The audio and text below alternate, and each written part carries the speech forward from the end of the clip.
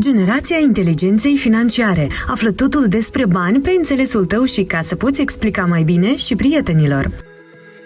În episodul precedent, Ștefan a aflat detalii despre credite și depozite. După discuția cu unchiul Matei, care este bancher, Ștefan a povestit despre acesta și surorii sale, Emily. Ca de obicei, curioasă, Emily a avut câteva întrebări către fratele ei. Una dintre ele se referea la cuvântul investiții, pe care Emily l-a auzit de la televizor, dar a recunoscut că nu prea știe ce înseamnă și cum se fac investițiile. Are ea un plan cu pușculița ei și vrea să-l ducă la bun sfârșit. Până revine din tabără, Ștefan va reuși la rândul său să afle mai multe despre investiții și va povesti surorii sale ce riscuri și avantaje ar presupune acestea. A pregătit o serie de întrebări pentru unchiul Matei. Cine altul, dacă nu el, îi va explica mai bine? Unchiule, ce bine că ești aici! Țin minte că atunci când eram mic și veneai pe la noi, ne jucam de banca sau de magazinul. Abia când am ajuns la colegiu, am înțeles cu adevărat sensul acelor jocuri. Să știm cum să prețuim banii este foarte util. Acum mă interesează tot ce ține de investiții. I-am promis surorii mele că o ajut cu mai multă informație pentru ideile ei. Dar nici mie nu mi-ar lipsi anumite detalii la subiect. Ție îmi va fi ceva mai simplu să-ți explic, deoarece cunoști câte ceva despre această temă. Fie că vorbim despre depozite, hârtii de valoare sau alte investiții, înainte de a lua o decizie, trebuie să ne documentăm foarte bine cu privire la perioadă, suma disponibilă, siguranța unei instituții specializate, dar și beneficiile pe care le avem în urma investirii banilor noștri. Pentru că, vezi tu, economiile și investițiile sunt doi prieteni de nedespărțit. Mm, din câte știu, dacă investesc o sumă acum, ar trebui să primesc mai mult ceva mai târziu. Investiția înseamnă multiplicare, așa e? A investi înseamnă, printre altele, și a împrumuta banii cuiva pentru o perioadă de timp. La final, persoana va înapoia suma împrumutată și încă ceva pe lângă, adică o dobândă. La fel, poți face un împrumut unei companii sau bănci. Unchiule, aș vrea totuși mai multe detalii despre cum să investesc și să dau cu împrumut în așa fel ca să nu pierd banii. Sunt trei lucruri esențiale de care e bine să ținem cont atunci când pregătim o investiție. 1. Cât te aștepți să câștigi, adică ce beneficiu să ai sau ce rentabilitate. 2.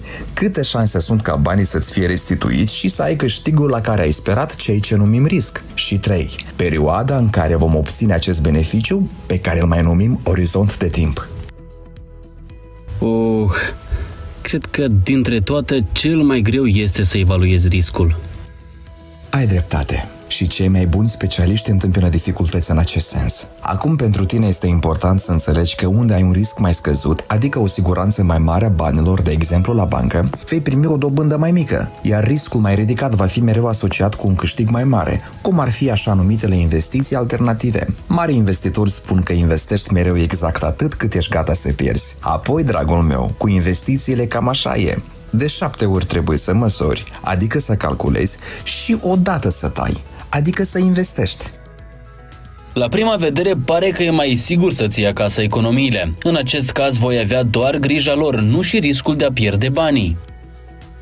Aparent da, însă tot mai mulți oameni se convin că dacă nu-și investesc economiile, acestea vor fi înghițite încetul cu încetul de monstru numit inflație. Acum, din economiile tale, îți poți cumpăra o bicicletă, de exemplu, dar prețurile cresc, serviciile se scumpesc, iar peste câteva luni sau ani cu bani pe care îi ai în prezent, ar putea să nu mai poți cumpăra acea bicicletă. Cam asta înseamnă inflație. De la o țară la alta, inflația poate fluctua între 2 și 20% mai convins. Așadar, nu-i logic să-i păstrăm în pușculiță, mai ales că eu vreau ca banii mei să se înmulțească. Ștefane, soluția ar fi diversificarea investițiilor. Ca să fiu mai explicit, imaginează-ți că primești ghivece diferite, mai multe tipuri de semințe și responsabilitatea să le îngrijești pe fiecare în parte în funcție de instrucțiunile de pe plic. În timp, vei observa că nu toate semințele se vor transforma în plante și de asemenea că nu toate cresc în același ritm. La fel se întâmplă și cu investițiile. Unele nu dau rezultate chiar dacă ai cheltuit timp și bani. Unele dau rezultate în timp, iar altele mai rapid.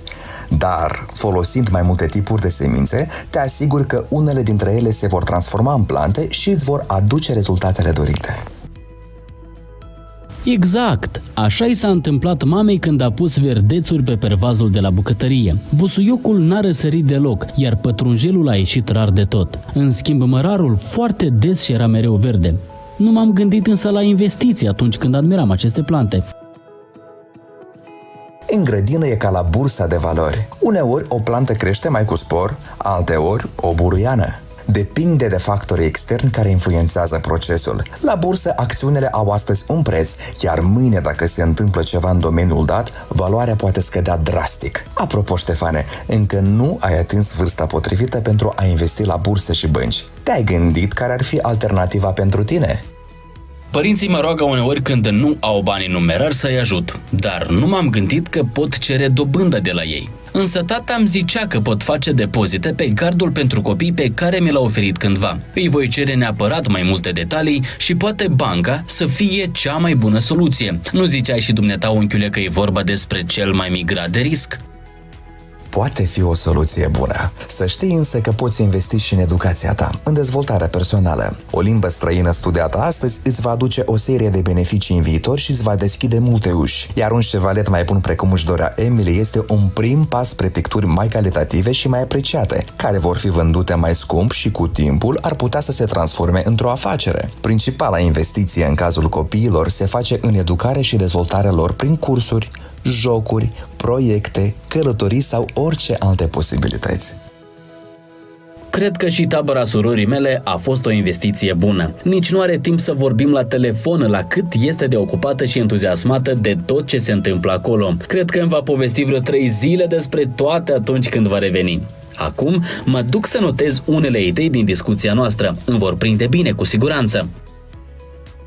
Îmi poți scrie dacă mai ai întrebări. Plec în vacanță peste câteva zile, dar îmi voi face timp să-ți răspund cu mare drag. Salut-o pe Emily din partea mea investiție, inflație, bursă de valori sau împrumut cu dobândă. Sunt noțiuni pe care mulți nu le înțeleg până la capăt. Te felicităm dacă ai ajuns până aici. Ești mai documentat și ai făcut o investiție foarte bună în educația ta. Te va ajuta cu siguranță în gestionarea micului tău buget, dar și pentru a face economii și a investi cu prudență. Ești curios să afli ce a adus Emily din tabără și cum se va pregăti pentru viitorul an școlar? Așteaptă noi episoade în cadrul campaniei de educație financiară Generația Inteligenței Financiare și află totul despre bani. E important să știi de mic cum îi gestionezi corect și cum să faci din ei un prieten pentru realizarea obiectivelor tale.